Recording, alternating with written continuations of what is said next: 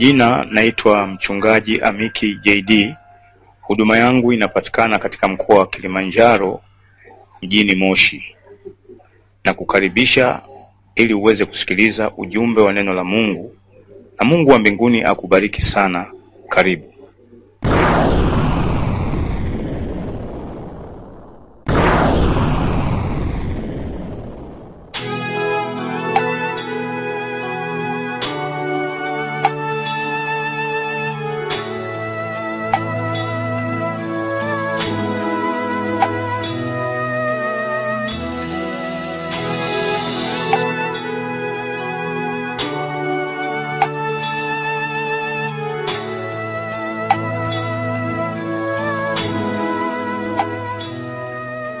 Soma neno, fanya neno, Amen. na kufanya neno ni Kuwa na uzima tele, utajiri na amani, na neno ni jeshi kubwa, daima mbele. nyuma mwiko, Tanzania kwa Yesu, inawezekana. haleluya. Amen. Basi leo tena tunaendelea na mfululizo wa masomo yetu. Roho Mtakatifu anatufundisha somo jingine ambalo anamfunua Mungu vizuri zaidi. Haleluya. Somo hili linaitwa Mungu ni Alfa na Omega. Haleluya. Mungu kweli ni Alfa na Omega. Sasa ni nini maana ya maneno haya Alfa na Omega? Alfa maana yake ni mwanzo na Omega maana yake ni mwisho. Haleluya. Huwezi kufafanua zaidi maneno haya kwa sababu Biblia yenyewe imeyafafanua maneno haya kwenye Ufunuo moja mstari wa nane na nitasoma mstari huo katika jina la Yesu. Mimi ni Alfa na Omega, mwanzo na mwisho, asema Bwana Mungu aliyeko na aliyekuwako na atakaye kuja, Mwenyezi. Haleluya. Biblia imemaliza kabisa hapa kwa kueleza yenyewe kwamba yeye Mungu ni Alfa na Omega, na yeye ndiye mwanzo na yeye ndiyo mwisho.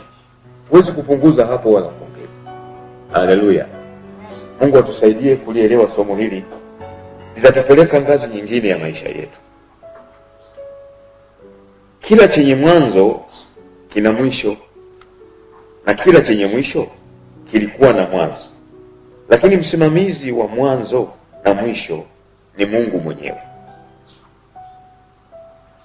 Aliyeanzisha vyote ni Mungu na atakayevimaliza vyote ni Mungu pia.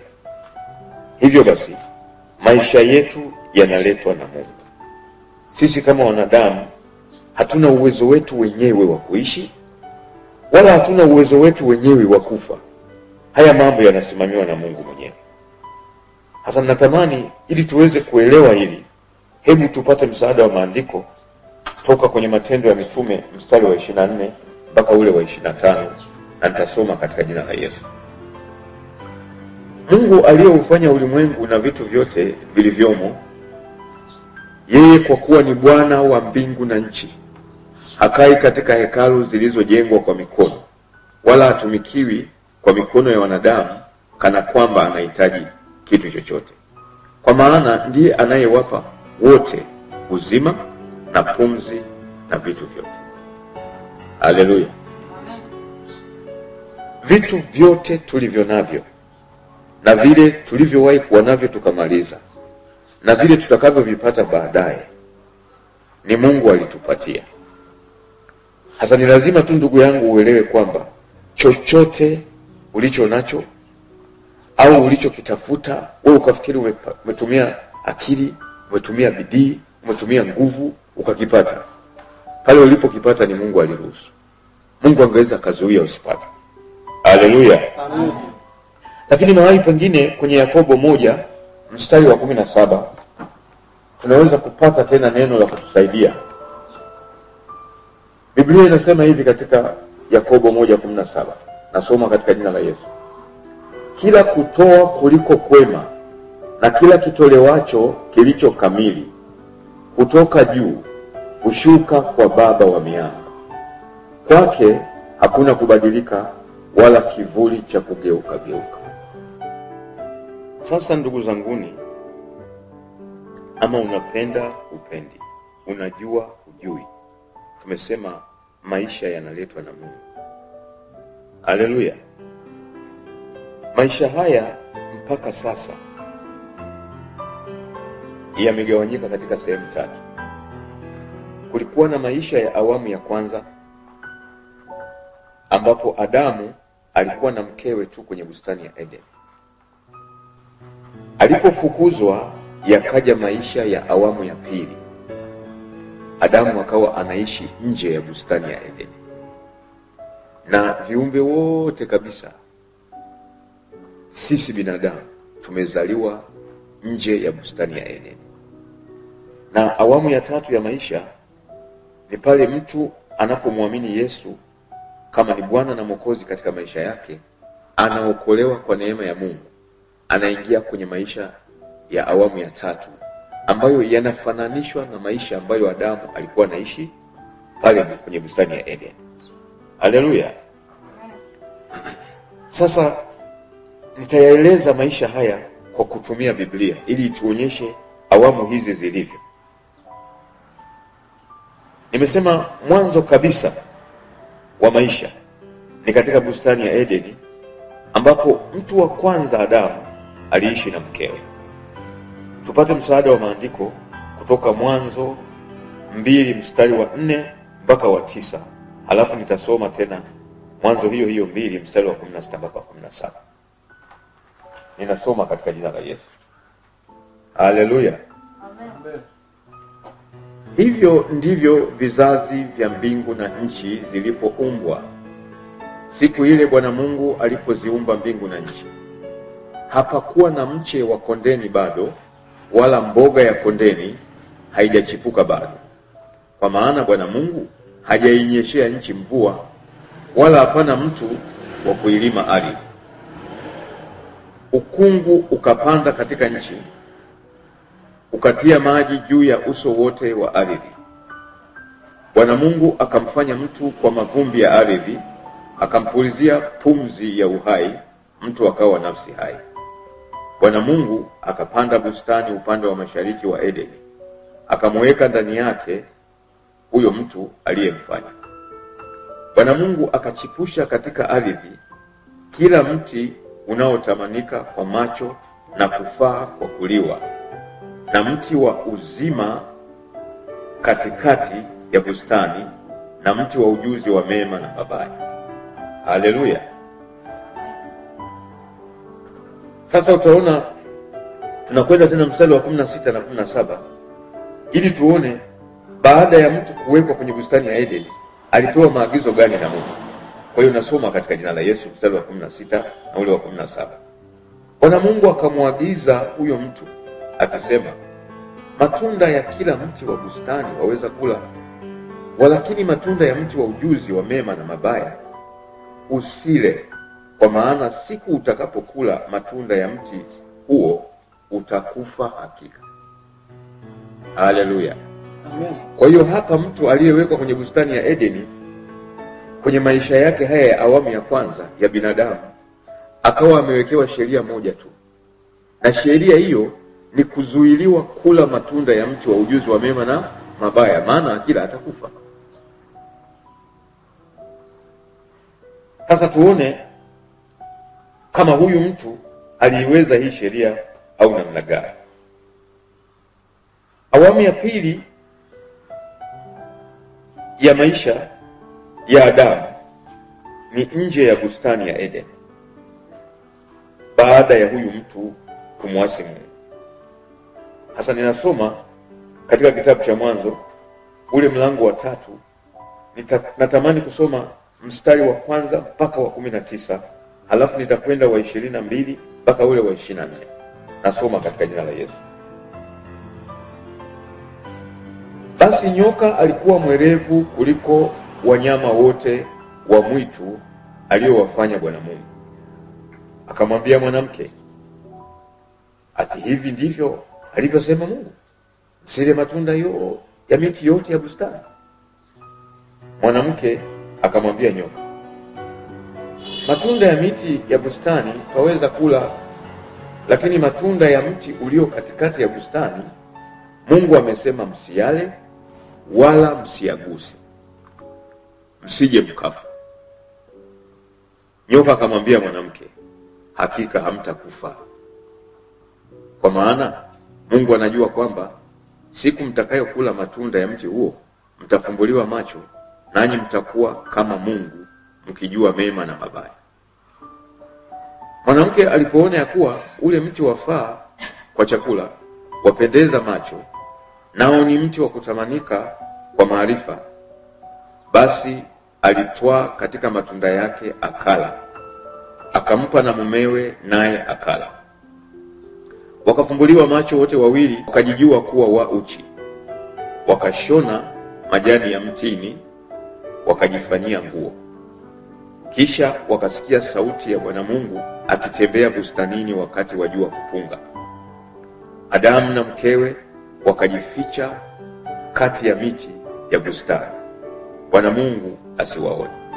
Haleluya! Amen. Hapa inaonekana kwamba kwenye maisha ya awamu ya kwanza, kabla huyo Adamu hajaasi, Mungu kila siku wakati wa jua kupunga alikuwa anawatembelea Adamu na mkewe.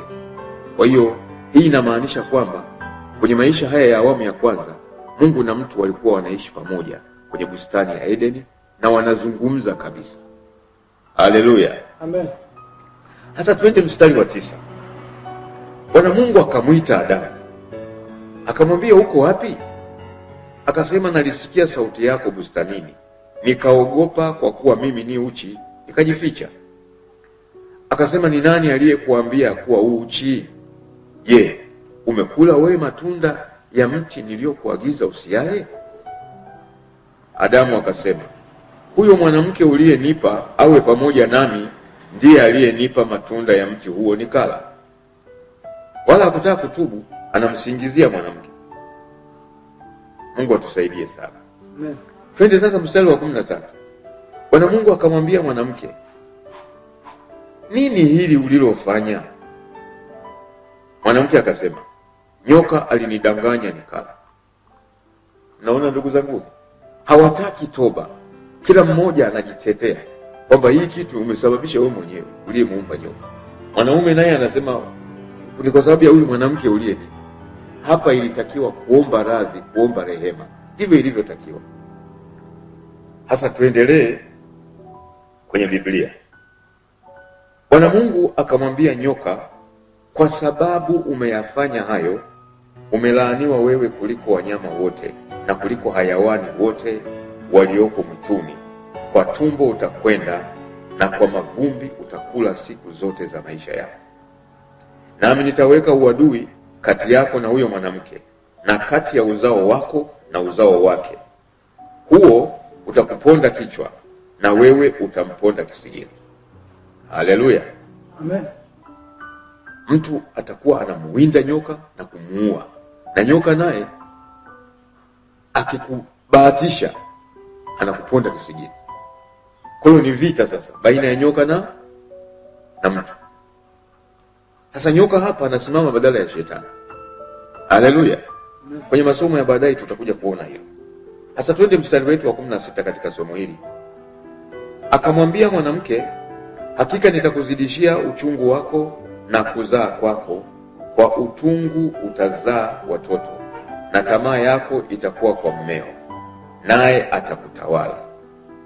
Mstari wa kumi na saba akamwambia Adamu, kwa kuwa umeisikiliza sauti ya mkwe wako, ukala matunda ya mti ambao nilikuagiza nikisema usiale, ardhi imelaaniwa kwa ajili yako, na kwa uchungu utakula mazao yake siku zote za maisha yako. Michongoma na miba itakuzalia, nawe utakula mboga za kondeni. Kwa jasho la uso wako utakula chakula, hata utakapoirudia ardhi ambayo katika hiyo ulitwaliwa, kwa maana umavumbi wewe, nawe mavumbi uta, mavumbini utarudi. Haleluya! Amen. Hapa Mungu anatimiza alichowaambia Adamu na Hawa kwamba matunda haya msiyale wala msiyaguse, kwa maana siku mtakapokula mtakufa. Kwa hiyo walipokula, hapa ndio wanatangaziwa kifo. kurudi mavumbini maana yake ni kwenda kuzikwa. Hapo walitangaziwa kifo. Haleluya! Hata tuone baada ya kula matunda haya ni adhabu gani Mungu anawapa Adamu na mkewe. Nasoma katika jina la Yesu Mwanzo tatu ishirini na mbili nitasoma mpaka ile ishirini na nne. Bwana Mungu akasema, basi huyu mtu amekuwa kama mmoja wetu kwa kujua mema na mabaya, na sasa asije akanyoosha mkono wake akatoa matunda ya mti wa uzima akala akaishi milele. Kwa hiyo Bwana Mungu akamtoa katika bustani ya Edeni ailime ardhi ambayo katika hiyo alitwaliwa. Basi akamfukuza huyo mtu, akaweka makerubi upande wa mashariki wa bustani ya Edeni na upanga wa moto uliogeuka huko na huko kuilinda njia ya mti wa uzima. Haleluya! Hapa mwanadamu anapata adhabu, anaondolewa kwenye maisha ya awamu ya kwanza, yale ya kwenye bustani ya Edeni, anafukuzwa na kupelekwa nje ya bustani ya Edeni, ambapo ni maisha yake ya awamu ya pili. Na tazama, Edeni ni hapa duniani na nje ya Edeni ni hapa hapa duniani. Kwa hiyo hapa mwanadamu anapofukuzwa kupelekwa nje ya bustani ya Edeni, Mungu anaweka makerubi. Makerubi ni malaika, ndugu zangu, na upanga wa moto unaozunguka huko na huko, ili kumlinda mtu asije akaenda kwenye bustani ya Edeni tena akaiba mti wa uzima akala akaishi milele. Kwa hiyo Mungu alimzuia huyo mtu akae huko nje ya Edeni, apate mateso, apate shida, aishi maisha ya laana. Mungu atusaidie sana.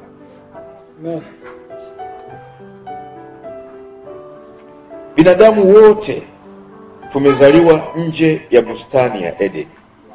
Kwa hiyo binadamu yoyote yule anapozaliwa anakuwa na laana hiyo ya Adamu ya kumwasi Mungu pale kwenye bustani ya Edeni, kula mti wa ujuzi wa mema na mabaya.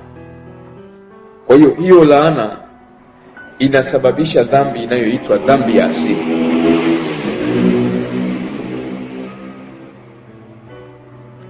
Dhambi ya asili ni dhambi aliyoifanya Adamu pale kwenye bustani ya Edeni.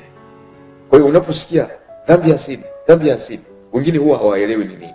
Sasa hiyo dhambi ya asili ndio iliyomfanya mwanadamu akaondolewa kwenye bustani ya Edeni, aende akaishi nje ya bustani ya Edeni kwenye laana, maisha ya awamu ya pili.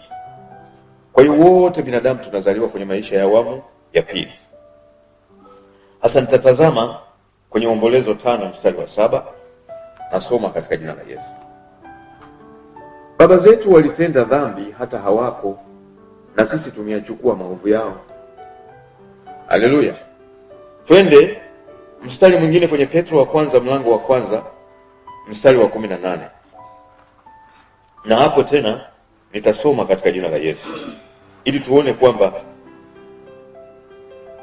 kwenye maisha haya ya awamu ya pili ambapo mtu anazaliwa anakuwa na dhambi tatu.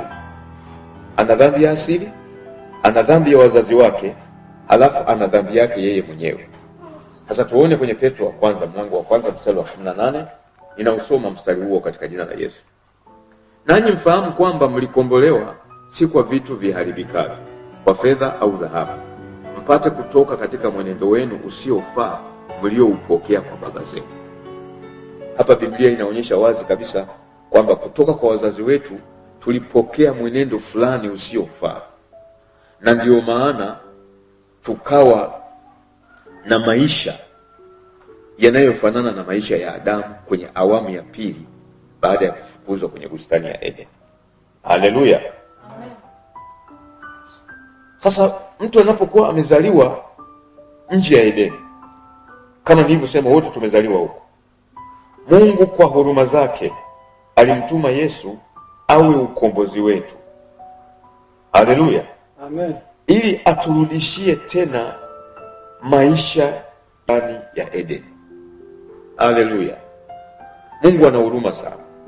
Kwa huruma na upendo wake alimtuma Yesu Kristo aje hapa duniani ateswe, agharimie maisha ya mwanadamu anayeteseka kwenye awamu ya pili, ili amuingize kwenye maisha ya awamu ya tatu, ambapo yanafanana kabisa na yale maisha ya awamu ya kwanza kwenye bustani ya Edeni. Sasa tupate msaada wa maandiko kutoka kwenye Efeso moja mstari wa saba na nitasoma katika jina la Yesu. Katika yeye huyo kwa damu yake tunao ukombozi wetu, masamaha ya dhambi, sawasawa na wingi wa neema yake. Haleluya!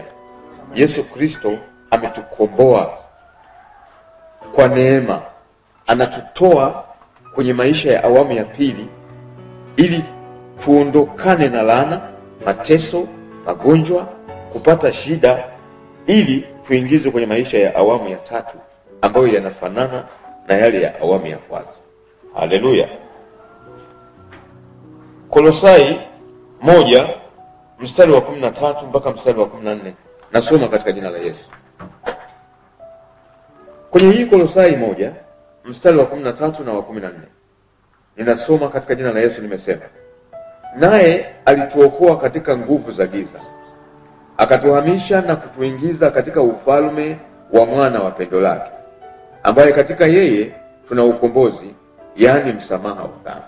Haleluya! Amen. Kwa hiyo kuna ukombozi unafanyika na Mungu mwenyewe kupitia Yesu Kristo, unaondolewa kwenye maisha ya awamu ya pili ya laana ya mateso ya dhambi, unaingizwa tena kwenye ufalme wa Mungu ili uweze kuishi na Mungu kama Adamu alivyokuwa anaishi na Mungu kwenye bustani ya Edeni. Haleluya! Amen. Tunatazama kwenye Warumi tena tano mstari wa kumi na moja. Nitasoma hapo katika jina la Yesu. Wala si hivyo tu, ila pia twajifurahisha katika Mungu kwa Bwana wetu Yesu Kristo, ambaye kwa yeye sasa tumeupokea huo upatanisho. Haleluya! Amen. Upatanisho maana yake ni amani inayokuwepo baina ya mtu na Mungu baada ya kusamehewa zile dhambi zake. Nimesema mwanadamu anakuwa na dhambi tatu. Ana dhambi ya asili aliyoipokea kwa Adamu, ana dhambi za wazazi wake, alafu ana dhambi yake yeye mwenyewe. Sasa unapoomba rehema, unapokubali kuokoka kwa neema ya Mungu, kumpokea Bwana Yesu awe Bwana na Mwokozi katika maisha yako, zile dhambi zote zinafutwa, halafu unapatana upya tena na Mungu, unaingizwa kwenye ufalme wa Mungu, unakuwa mtoto wa Mungu, unaanza kutunzwa na kulelewa na Mungu kama ilivyokuwa pale bustani ya Edeni. Haleluya! Amen. Baada ya kujipatanisha na Mungu namna hiyo, ndipo maisha ya laana yanaondoka na maisha ya baraka toka Mungu yanamjia binadamu tena.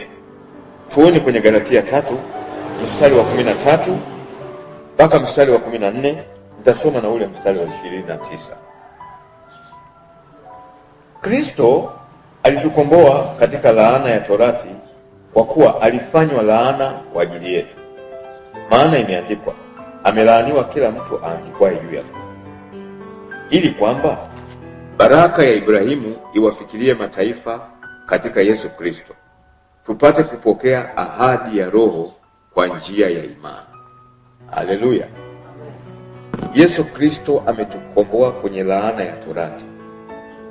Yesu Kristo ametukomboa kwenye laana ya Adamu, ametukomboa kwenye laana ya wazazi ametukomboa kwenye laana tulizojisababishia sisi wenyewe, maana na sisi wenyewe tulifanya dhambi kwenye maisha ya awamu ya pili. Haleluya! hasa baada ya kukombolewa kwenye hayo, mtu ndio unaingia kwenye baraka za Ibrahimu. Na tazama mstari wa ishirini na tisa unaonyesha hilo. Nasoma katika jina la Yesu. Na kama ninyi ni Wakristo, basi mmekuwa uzao wa Ibrahimu na warithi sawasawa na ahadi. Haleluya! Unakuwa mrithi sawasawa na Mungu alivyoahidi. Hiki ni nini ninachoongelea hapa? Hiki siongelei dini wala siongelei dhehebu. Hapa naongelea maisha. Nimeongelea maisha ya raha kwenye bustani ya Eden, nikaja kuongelea maisha ya tabu na ya laana kwenye awamu ya pili ya maisha. Awamu ya tatu ya maisha ni maisha ya ukombozi, maisha ya wokovu, maisha ya msamaha, maisha ya kupatana na Mungu na Mungu na mtu tena wanaishi pamoja. Ni maisha ndugu zanguni sio dini wala sio dhehebu, sio mahala pa kusali, hapana, wala sio maombi, ni maisha. Haleluya! Maisha haya mapya baada ya msamaha ni Mungu na mtu wanaishi pamoja tena na kuwa marafiki. Glory to God. Amen. Yohana 15:13 inaonyesha urafiki huu wa mtu na Mungu tena. Nasoma katika jina la Yesu. Hakuna aliye na upendo mwingi kuliko huu wa mtu kuutoa uhai wake kwa ajili ya rafiki zake. Haleluya! Mungu anakuwa rafiki yako unapopokea upatanisho, unapookoka kwa neema ya Mungu. Natazama Yohana tena 14:23 nitasoma katika jina la Yesu. Yesu akajibu akamwambia, mtu akinipenda atalishika neno langu, na Baba yangu atampenda, nasi tutakuja kwake na kufanya makao kwake. Haleluya! Ukilishika neno la Mungu, Mungu anakupenda, Yesu Kristo anakupenda, wote wanakuja kwako na kufanya makao ili wakusaidie maisha ya awamu ya tatu ufanane na Adamu alipokuwa bustani ya Eden. Mungu agharimie maisha yako yote. Mungu akulinde, Mungu akutetee, Mungu akuponye, Mungu asimame na wewe kwenye matatizo ya dunia hii. Mungu awe fidia ya madhaifu yako yote kwenye awamu ya tatu. Ni raha ya namna gani? Haleluya! Amen. Twende kwenye Ibrania saba mstari wa ishirini na mbili. Nasoma katika jina la Yesu. Basi kwa kadiri hii Yesu amekuwa mdhamini wa agano lililo bora zaidi. Unaelewa maana ya neno udhamini? Udhamini ni mtu kusimama badala yako kwenye kesi yako. Mtu anasimama kukusaidia ili kama una kesi, kama una tatizo, huyo mtu atalipa yeye badala ya wewe. Kwa hiyo Yesu Kristo kwenye agano lililo bora, agano jipya, kwenye maisha ya awamu ya tatu, nimesema Yesu anakuwa mdhamini kwenye maisha yako, anakuwa mfadhili, anakuwa mtetezi, anakulipia gharama za maisha yako, anakulinda, anapambana na maadui zako. Vita inakuwa ya Yesu Kristo, wala vita haiwi ya kwako wewe. Haleluya! Amen. Twende kwenye Marko kumi mstari wa 45. Pana ufafanuzi tena pale, ili tuweze kuona Mungu anatufanyia nini. Nasoma katika jina la Yesu. Kwa maana mwana wa Adamu naye hakuja kutumikiwa, bali kutumika na kutoa nafsi yake iwe fidia ya wengi. Haleluya! Yesu Kristo anafidia mapungufu, anafidia udhaifu, anafidia umaskini, anafidia ujinga, anafidia mateso, anafidia kifo. Haleluya! Amen. Kwa hiyo mtu yeyote anamhitaji Yesu Kristo ambaye yeye ni bora zaidi kuliko sisi, yeye ana akili zaidi kuliko sisi, ana hekima zaidi kuliko sisi, ni wa maana zaidi kuliko sisi, ana uzima zaidi kuliko sisi, ndiye anayetuletea maisha. Kwa hiyo pale ambapo wewe umepungukiwa, yeye anafidia ili usipungukiwe, unajazwa tena. Haleluya! Kwenye Petro wa kwanza mlango wa tano mstari wa sita na wa saba nitasoma katika jina la Yesu. Basi kama ni hivyo, nyenyekeeni chini ya mkono wa Mungu ulio hodari, ili awakweze kwa wakati wake, huku mkimtwika yeye fadhaa zenu zote. Haleluya! Kumtwika fadhaa maana yake ni kumkabidhi matatizo, mizigo, mateso, vile vitu vinavyokufadhaisha wewe, ambavyo vinakutesa, hata vingeweza kukuua na kukuaibisha, unamtwika Yesu Kristo, kwa maana yeye hujishughulisha sana kwa mambo yenu. Haleluya! Yesu Kristo ambaye ni Mungu mwenye nguvu, Baba wa milele, mfalme wa amani, anajishughulisha sana kwa maisha yetu kama Mungu alivyokuwa anajishughulisha kwenye maisha ya Adamu kwenye bustani ya Edeni. Kwa hiyo awamu ya kwanza na awamu ya tatu ya maisha vinafanana kabisa. Pale kwenye awamu ya kwanza unakuta kulikuwa na mti wa uzima ambapo Adamu na mkewe walikuwa wakila hawafi. Walipokula sasa mti wa ujuzi wa mema na mabaya, ndio Mungu akasema mtakufa, na watu kifo kikaanzia hapo. Na kwa nini Mungu alimtoa Adamu na Hawa kwenye bustani ya Edeni? Alikuwa naogopa watakwenda kula mti wa uzima tena. Sasa mti wa uzima wa sasa ni Yesu Kristo mwana wa Mungu aliye hai. Amen. Unapokuwa naye, yeye ndiye mmiliki wa maisha, mmiliki wa uzima. Yeye ndiye mwanzo na mwisho, alfa na omega.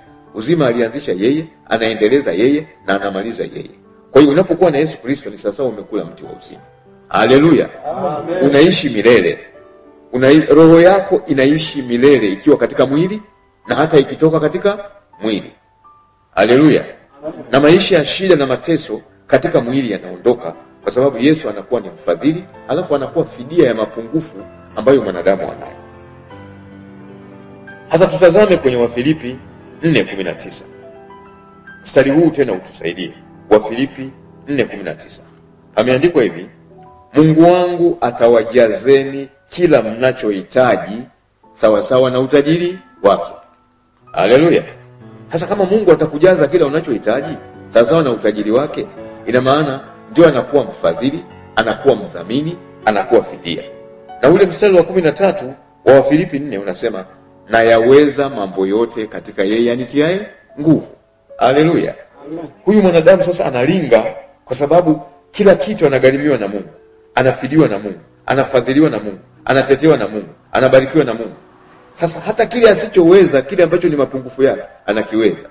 Kwa hiyo ndio unaona Paulo mtume akasema na yaweza mambo yote katika yeye anitiaye nguvu. Haleluya! Amen. Katika maisha haya mapya mtu anatumia neno la Mungu tu kama kipimo kwenye maisha yake. Yaani neno la Mungu ndiyo maisha ya mtu sasa. Haleluya! Usifanye kitu chochote bila kuelewa Mungu amesema nini kwenye hicho unachofanya, au usiache kufanya kitu bila kuelewa Mungu amesema nini. Ni lazima uwe umeelewa kwanza alichosema Mungu, ndiyo unaamua cha kufanya au unaamua cha kuacha. Haleluya! Sasa tuone kwamba maisha ya mtu sasa ni lazima yafanane na Mungu alichokisema. Alichosema anaweza, anaweza. Alichosema atafanya, atafanya. Alichosema hawezi kufanya, hawezi kufanya. Alichosema Mungu anajua, anajua kweli. Alichosema Mungu atakupa, atakupa kweli. Kwa hiyo sasa lazima ujitoe kutafuta uso wa Mungu ili ujue Mungu wako amesema nini kwa usalama wako wewe mwenyewe. Haleluya. Yohana 15:7 inasoma katika jina la Yesu. Ninyi mkikaa ndani yangu na maneno yangu yakikaa ndani yenu, ombeni mtakalo lolote, nanyi mtatendewa. Hapa imeweka wazi, ukikaa ndani ya Mungu na maneno yake yakikaa ndani yako, ndio unaruhusiwa kumuomba kitu chochote na atakupa. Kwa hiyo neno la Mungu linapokaa ndani yako kwa wingi, ina maana unapata maisha kwa wingi. Neno la Mungu linapokuwa chache, unapata maisha machache, na unapokuwa huna neno kabisa, ina maana huna maisha. Haleluya! Amen. Sasa ama unapenda ama upendi, utatakiwa kuelewa neno na kuliweka ndani ili likuletee maisha ya mbinguni hapa hapa duniani. Twende kwenye Kumbukumbu tano mstari wa ishirini na tisa mpaka ule wa thelathini na tatu. Nitasoma kwa msaada wa Bwana. Haleluya! Laiti wangekuwa na moyo kama huu ndani yao siku zote, wa kunicha na kushika amri zangu zote siku zote, wapate kufanikiwa wao na watoto wao milele. Haleluya! Mungu anasema laiti ungekuwa na moyo huu wa kulithamini neno la Mungu na kuliweka ndani yako siku zote na kumcha Mungu siku zote, ungefanikiwa wewe na watoto wako milele. Mafanikio ni maisha, ndugu zanguni. Haleluya! Hapo hakuna habari ya dini wala dhehebu. Hata tunaendelea mstari wa thelathini, enda uambie, rudini hemani mwenu lakini wewe simama hapa karibu nami, nami nitanena nawe sheria zote na amri na hukumu utakazowafunza. Haleluya! Narudia neno hili, utakazowafunza. Kujifunza neno la Mungu ni lazima ili uelewe muumba wako alichoagiza na alichoahidi. Watu wana tabia ya kudai ahadi za Mungu bila kuelewa maagizo ya Mungu. Maagizo watatu, wanadai tu ahadi, wanadai mshahara bila kazi. Sasa ufundisho upate kujua. Naendelea, wapate kuzifanya katika nchi ni wapayo kuimiliki. Mstari wa 32, tunzeni basi mtende kama mlivyoamriwa na Bwana Mungu wenu, msikengeuke kwa mkono wa kuume wala wa kushoto. Endeni njia yote aliyowaagiza Bwana Mungu wenu, mpate kuwa hai na kufanikiwa, mkafanye siku zenu kuwa nyingi katika nchi mtakayoimiliki. Haleluya! Kuna maneno mazito hapa, anasema kwa kulielewa neno la Mungu na kulishika, utakuwa hai, utafanikiwa na siku zako zitakuwa nyingi. Utapata maisha yanayotoka kwa muumba wako, maisha yanayotoka kwa Mungu, maisha ya mbinguni hapa hapa duniani. Ndio maana kuna sala ile ya baba yetu, baba yetu uliye mbinguni, jina lako litukuzwe, ufalme wako uje, mapenzi yako yafanyike hapa hapa duniani kama ilivyo mbinguni. Ni habari ya maisha, maisha ya Mungu yafanyike hapa duniani kama ilivyo mbinguni. Haleluya! Amen. Hebu tutazame kwenye Kumbukumbu sita mstari wa kwanza mpaka watatu. Nasoma katika jina la Yesu. Na hii ndiyo sheria na amri na hukumu alizoziamuru Bwana Mungu wenu, mfundishwe. Narudia tena, mfundishwe. Kujifunza neno ni amri kwa usalama wako wewe mwanadamu. Mkishafundishwa mpate kuzitenda katika nchi ile mnayoivukia kuimiliki. Haleluya! upate kumcha Bwana Mungu wako, kushika amri zake zote na sheria zake ninazokuamuru wewe na mwanao na mwana wa mwanao siku zote za maisha yako. Haleluya! Kujifunza neno ni kwa ajili ya watu wote, watu wazima, watoto na wajukuu, wote wanahitaji maisha. Haleluya! Tena siku zako ziongezwe. Hivi kuongezwa siku sio maisha haya? Sikiza basi, e Israeli, ukaangalie kuzitenda, upate kufanikiwa. Kufanikiwa ni maisha, ndugu zanguni, mpate kuongezeka sana. Kuongezeka sana ni maisha, ndugu zangu, kama Bwana Mungu wa baba zako alivyokuahidi katika nchi ijayo maziwa na asali. Haleluya! Tunapata tena msaada wa maandiko kutoka kwenye Kumbukumbu la Torati 28 mstari wa kwanza mpaka wa kumi na nne. Hapo Mungu ameeleza vizuri namna mwanadamu atakavyopata raha akilielewa neno, akaliamini, akalitendea kazi. Nasoma katika jina la Yesu. Itakuwa utakapoisikia sauti ya Bwana Mungu wako kwa bidii, narudia tena, kusikia sauti ya Bwana Mungu kwa bidii, haleluya, kutunza kuyafanya maagizo yake yote ni kuagizayo leo, ndipo Bwana Mungu wako atakapokutukuza juu ya mataifa yote ya duniani, na baraka hizi zote zitakujilia na kukupata usikiapo sauti ya Bwana Mungu wako. Utabarikiwa mjini, utabarikiwa na mashambani, utabarikiwa uzao wa tumbo lako na uzao wa nchi yako na uzao wa wanyama wako wa mifugo na maongeo ya ng'ombe wako na wadogo wa kondoo zako. Tano, litabarikiwa kapu lako na chombo chako cha kukandia unga. Sita, utabarikiwa uingiapo, utabarikiwa na utokapo. Mstari wa saba, Bwana Mungu atawafanya adui zako wainukao juu yako kupigwa mbele yako, watakutokea kwa njia moja, lakini watakimbia mbele yako kwa njia saba. Bwana ataiamuru baraka ije juu yako katika ghala zako na mambo yote utakayotia mkono wako, naye atakubarikia katika nchi akupayo Bwana Mungu wako. Mstari wa tisa, Bwana Mungu atakuweka uwe taifa takatifu kwake, kama alivyokuapia, utakaposhika maagizo ya Bwana Mungu wako na kutembea katika njia zake. Haleluya! Amen. Sio unapata hivyo vitu bure tu. Haleluya! na mataifa yote ya duniani watakuona umeitwa kwa jina la Bwana, nao watakuwa na hofu kwako.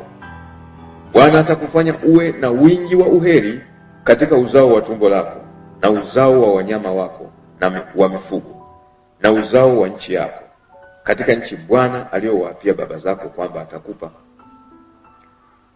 Atakufunulia Bwana hazina yake nzuri, nayo ni mbingu, kwa kutoa mvua ya nchi yako kwa wakati wake, na wala hutakopa wewe. Bwana atakufanya kuwa kichwa wala si mkia, nawe utakuwa juu wala hui chini, utakapoyasikiza maagizo ya Bwana Mungu wako ni kuagizayo hivi leo, kuyaangalia na kuyafanya.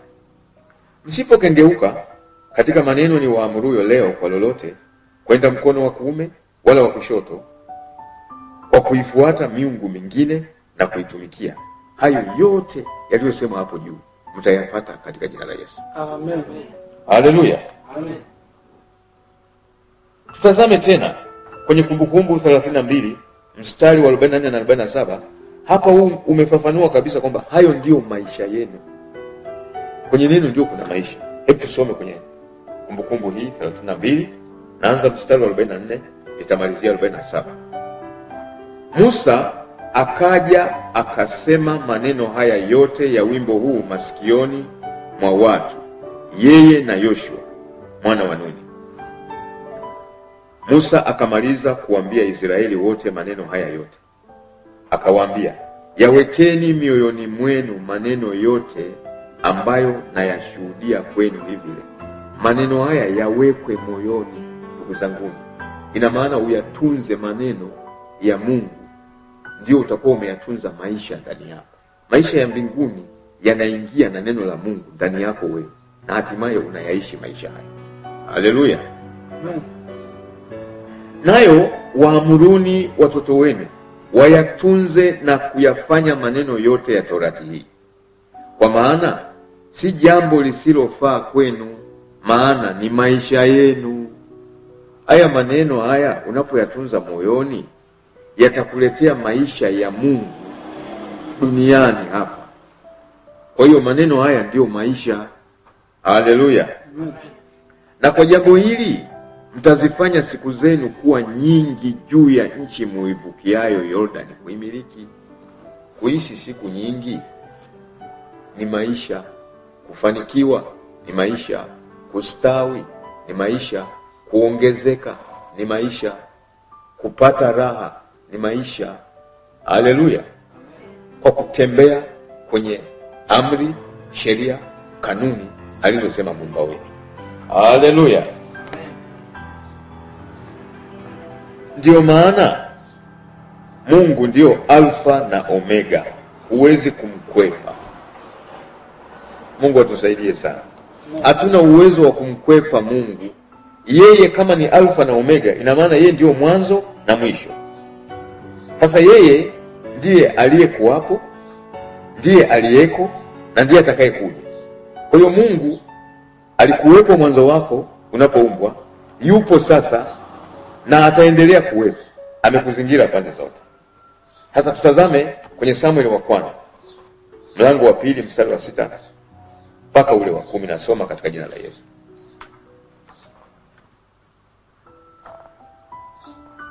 Bwana huua naye hufanya kuwa hai, hushusha hata kuzimu, tena huleta juu. Haleluya! Kufa ni maisha pia, na anayefanya hayo ni nani? Ni Bwana mwenyewe. Mstari wa saba, Bwana hufukarisha mtu. Ufukara ni maisha, naye utajirisha. Utajiri ni maisha. Haleluya! Hushusha chini, tena huinua juu. Mtu anaweza kuwa chini akaenda juu, amefanikiwa maisha, au akatoka juu akaenda chini, ameshindwa maisha. Mstari wa nane, humwinua mnyonge kutoka mavumbini. Mnyonge anaweza akainuka kutoka huko kwenye unyonge wake akaenda mahali pengine penye daraja ya juu, ni maisha. Humpandisha mhitaji kutoka jaani, ili awaketishe pamoja na wakuu, wakakirithi kiti cha enzi cha utukufu. Kwa maana nguzo za dunia zina Bwana, naye ameuweka ulimwengu juu yake. Yeye atailinda miguu ya watakatifu wake, bali waovu watanyamazishwa gizani. Maana kwa nguvu hakuna atakayeshinda. Nguvu za mtu hazisaidii lolote katika dunia hii. Haleluya! Tunahitaji wote msaada wa Mungu. Mstari wa kumi, washindanao na Bwana watapondwa kabisa. Toka mbinguni yeye atawapigia radi. Bwana ataihukumu miisho ya dunia, naye atampa mfalme wake nguvu na kuitukuza pembe ya masihi wake. Haleluya! Hata mfalme anahitaji msaada wa Mungu kutawala, hana uwezo wake yeye mwenyewe, lakini kuna ahadi nzuri kwa masihi wake. Masihi ni mtu ambaye amelipokea neno la Mungu, anaishi katika neno la Mungu, analitafakari na kulitendea kazi. Ni mpakwa mafuta. Mtu anayetembea na neema ya Mungu ndo anaitwa masihi. Sasa masihi anasaidiwa na Mungu kwenye maeneo yote ya maisha yake. Haleluya! Amen. Twende Warumi kumi na nne mstari wa saba. Nitasoma mstari huu usikilize vizuri sana, maana imeandikwa hivi. Nasoma katika jina la Yesu.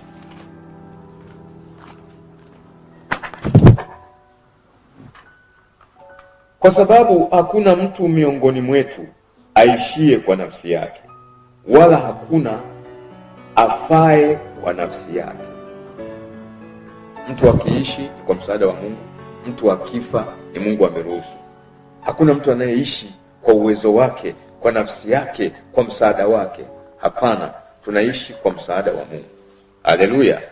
Tutakwenda kuona mahali ambapo kweli Mungu anadhihirisha kwamba yeye ndiye anayemweka mtu hai hapa duniani na anaweza kumwondoa. Kwenye hii Luka kumi na mbili mstari wa kumi na tano mpaka wa ishirini na moja hebu tazama namna Mungu anavyotaka kuthibitishia wewe mwanadamu kwamba huna uwezo wako wa kuishi. Naanza mstari wa kumi na tano nasoma katika jina la Yesu. Akawaambia, angalieni, jilindeni na choyo, maana uzima wa mtu haumo katika wingi wa vitu vyake alivyo navyo. Mstari wa kumi na sita mithali akisema, shamba la mtu mmoja tajiri lilikuwa limezaa sana. Akaanza kuwaza moyoni mwake. Huyu mtu akusema, alikuwa anawaza tu moyoni mwake, na Mungu akayaona yale mawazo, Mungu akayafanyia kazi.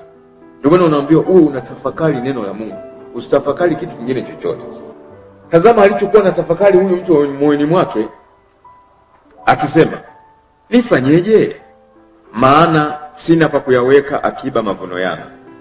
Akasema, nitafanya hivi, nitazivunja ghala zangu, nijenge nyingine kubwa zaidi, na humo nitaweka nafaka yangu yote na vitu vyangu. Haleluya! Unaona mawazo ya mtu huyu, anawaza kubomoa ghala zile ndogo, ajenge ghala zingine kubwa, aweke mali nyingi, ili aanze kupata raha kwa mawazo yake. Haleluya! Kisha nitajiambia, e nafsi yangu, una vitu vyema vingi ulivyojiwekea akiba kwa miaka mingi. Pumzika basi, ule, unywe, ufurahi. Anafikiri uwezo huo uko mikononi mwake, eti kwa sababu ana vitu, ana chakula, ana mali, anadhani hizo mali na vyakula vyake vitamwezesha kuishi.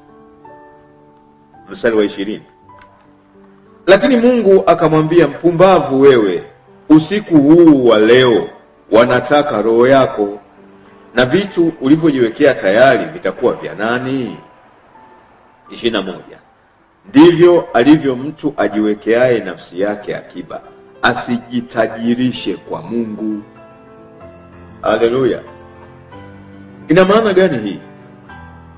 Wewe unapojitajirisha wewe mwenyewe kwa kuweka vitu mbalimbali, vyakula nini, umejaza kwenye gara zako, bado huna maisha. Maisha yako yameshikwa mkononi mwa Mungu. Roho yako ni mali ya nani? Ya Mungu. Mungu anaweza kuitoa wakati wowote. Sasa unapokuwa na neno la Mungu linaingia na Mungu ndani, Mungu anafanya makao kwako, unakuwa umejitajirisha kwa Mungu. Ndio maana Biblia inasema neno la Kristo nalikae kwa wingi ndani yenu. Unapoingiza neno, maana yake unaujenga ufalme wa Mungu ndani yako, unamjenga Mungu ndani yako, Mungu anaingia na maisha ndani yako, ndio unakuwa umejitajirisha kwa Mungu. Haleluya!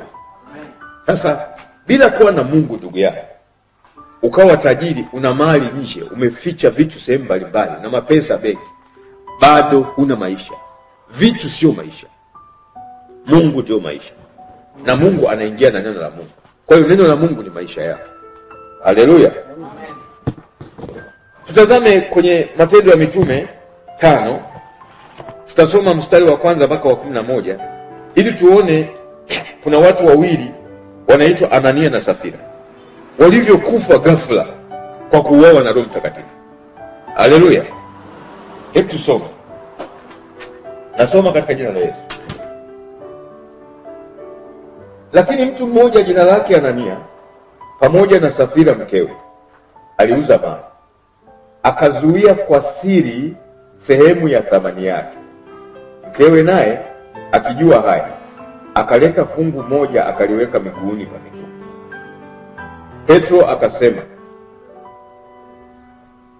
Anania, kwa nini shetani amekujaza moyo wako kumwambia uongo Roho Mtakatifu na kuzuia kwa siri sehemu ya thamani ya kiwanja? Kilipokuwa kwako hakikuwa mali yako? Na kilipokuwa kimekwisha kuuzwa, thamani yake haikuwa katika uwezo wako? Ilikuwaje hata ukaweka neno hili moyoni mwako? Hukumwambia uongo mwanadamu, bali Mungu. Anania aliposikia maneno haya akaanguka akafa. Hofu nyingi ikawapata watu wote walioyasikia haya. Vijana wakaondoka wakamtia katika sanda, wakamchukua nje, wakamzika. Haleluya! Huyu mtu aliuza kiwanja kwa pesa nyingi, akazuia fedha ili zimsaidie kwenye maisha. Haleluya! Akaleta sehemu kidogo kwa Mungu miguuni pa mitume. Roho Mtakatifu akamgundua. Sasa hapa anatuonyesha kwamba fedha zile alizotunza zimsaidie kwenye maisha ndio zimempotezea maisha. Maisha yako mkononi mwa nani? Mwa Mungu. Mungu atusaidie sana. Mstari wa saba. Hata muda wa saa tatu baadaye mkewe akaingia, naye hana habari ya hayo yaliyotokea. Petro akajibu, niambie, mlikiuza kiwanja kwa thamani hiyo? Akasema, ndiyo, kwa thamani hiyo.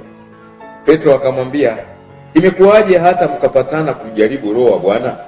Angalia, miguu yao waliomzika mumeo ipo mlangoni, nao watakuchukua na wewe nawe.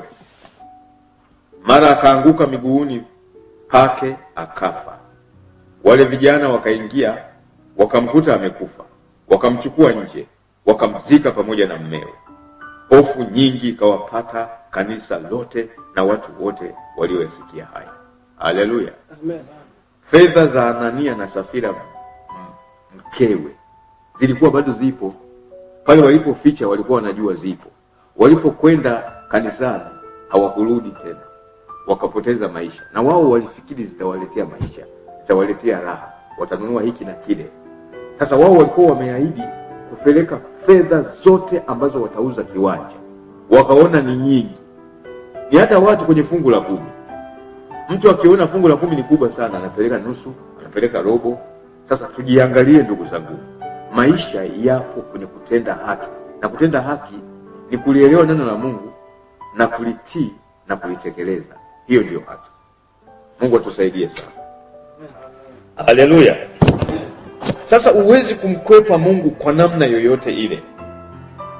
Ndio nimetamani tupate neno la Mungu kwenye Zaburi 139 mstari wa kwanza mpaka wa 18.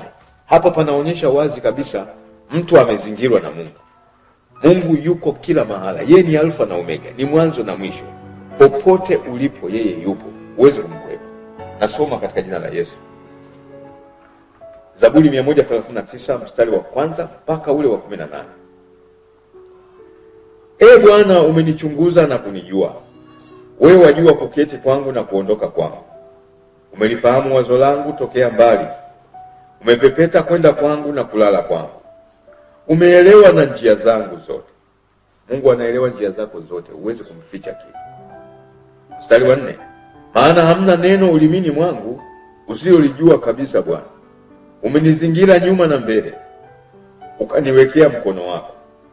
Maarifa hayo ni ya ajabu, yanishinda mimi, hayadirikiki, siwezi kuyafikia. Niende wapi nijiepushe na roho yako? Niende wapi niukimbie uso wako? Kama ningepanda mbinguni, wewe uko; ningefanya kuzimu kitanda changu, wewe uko pia. Ningezitwaa mbawa za asubuhi na kukaa pande za mwisho za bahari, huko nako mkono wako utaniongoza, na mkono wako wa kuume utanishika. Kama nikisema, hakika giza litanifunika na nuru inizungukayo ingekuwa usiku, giza nalo halikufichi kitu, bali usiku huangaza kama mchana. Giza na mwanga kwako ni sawasawa. Maana wewe ndiwe uliyeniumba mtima wangu, uliniunga tumboni mwa mama yangu.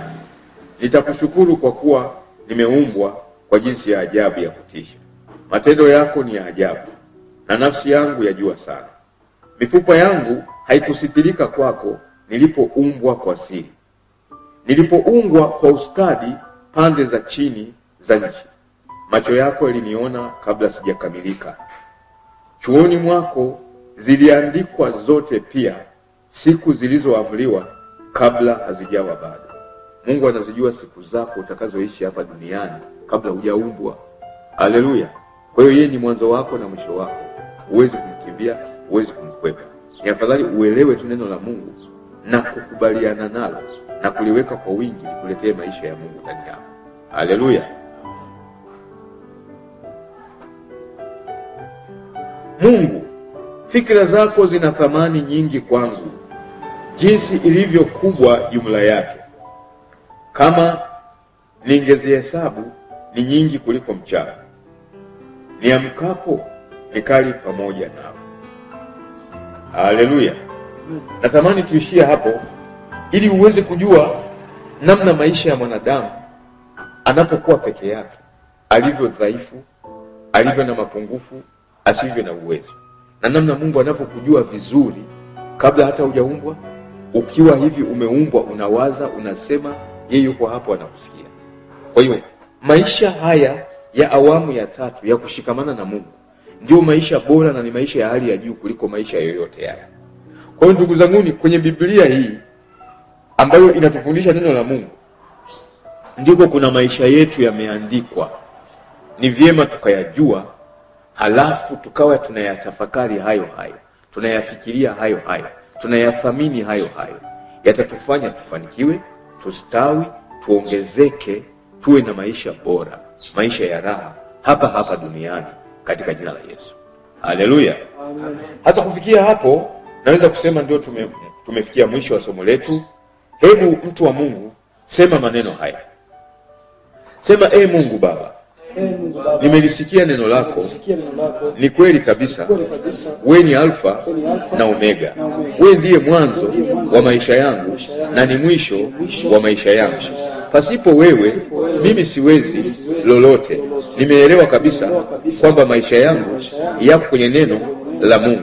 Neno la Mungu uliolituma wewe Mungu litaniletea mimi maisha yako, maisha ya mbinguni hapa hapa duniani, maisha ya mafanikio, ya kustawi, maisha ya ushindi, maisha ya uzima siku zote za maisha yangu.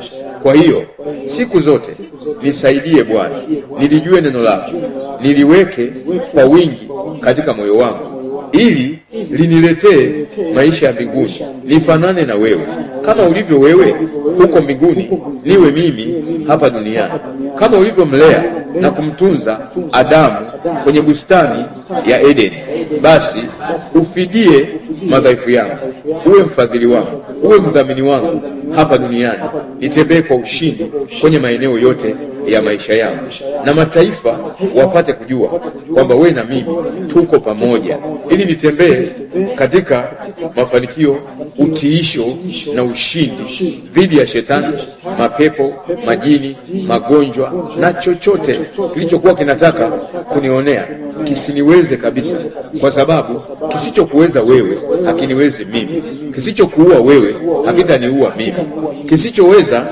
kukuharibu wewe hakitaniharibu. Mimi ni mshindi na ninashinda siku zote katika jina la Yesu. Tuseme amen. Haleluya.